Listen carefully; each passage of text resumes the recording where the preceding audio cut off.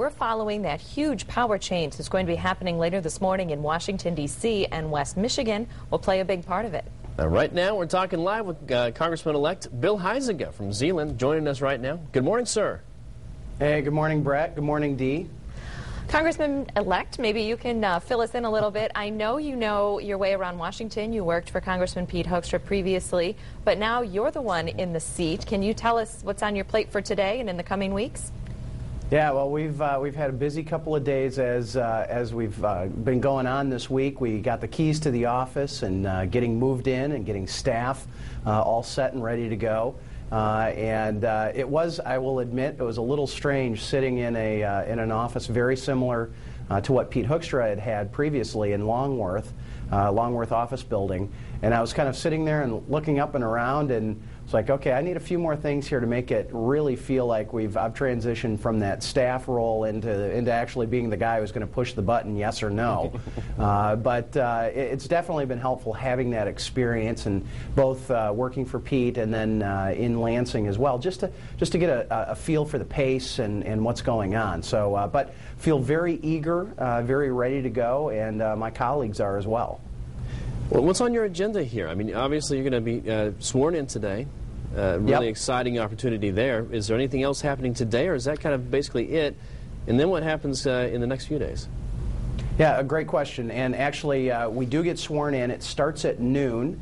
Uh, and uh, what they'll do is they'll read through the roster, the all 435 people that have been elected, the new people and the uh, returning people. That takes an hour, uh, and then there's going to be a vote uh, for uh, who is going to be Speaker of the House. obviously, we anticipate that being John John Boehner with the with the Republican majority now. So that takes another hour. So at right at about two o'clock, John Boehner gets sworn in. Uh, Nancy Pelosi makes a statement, then John Boehner makes a short speech, and then uh, we take our oath of office uh, in mass uh, on the House floor. Uh, and then we start voting, frankly, Brett. Uh, we're going to be uh, voting on some rules changes. Uh, we're going to be voting on uh, reducing our budgets within our offices already. Uh, and I think that's a very substantive but also symbolic thing to, to the people not only back in West Michigan but around the nation who said, hey, we want you to do business differently. And so we're, we're heading down that path. I can tell you, yesterday we had a three hour conference meeting, which is like a caucus, and a debate debating those rules and talking about those rules, and uh, we're, we're serious. The, the, uh, the establishment's slightly nervous with a whole group of uh, new freshmen showing up, uh, and they should be. Uh, you know, we need to make sure both sides of the aisle need to make sure that uh, they understand that we've got a whole new set of people coming in, and they're, they're eager to do things a little different. And I know there's a lot on your plate in the coming months, but tell us a little bit about what you've been doing in the last couple of days. I know you've been in Washington. You mentioned trying to get settled in your office a little bit, but there's a lot of meetings and a lot of sort of showing you around town a little bit. Can you tell us what you've been up to in the last couple of days? Yeah, we uh, we got the whole family out here. Natalie and I drove out with our five kids, and uh, it was we've had a couple of special moments where just as a family, we've gone walking through the Capitol, and, and Natalie and I and the kids all went to the inaugural of Rick Snyder on the first on, on Saturday. And you know, I had been where I had worked for a period of time, and the kids had been there, and we just wanted to have sort of them to to see the the full package and to be able to put the pieces of the puzzle together. So on Saturday, uh, we, uh, we, we saw the Michigan Capitol and and uh, where Dad had worked there.